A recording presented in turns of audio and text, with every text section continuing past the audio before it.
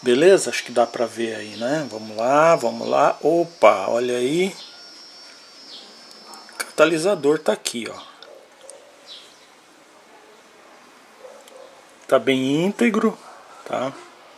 Difícil de ver aqui, né? Aê, agora sim, olha lá.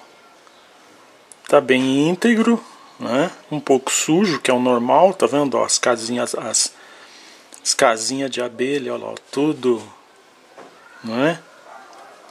Um pouco sujo, que é normal, né? A gente vai andando ali, ó, ele vai mostrando para nós a, a abertura das, da colmeia, né? Ok?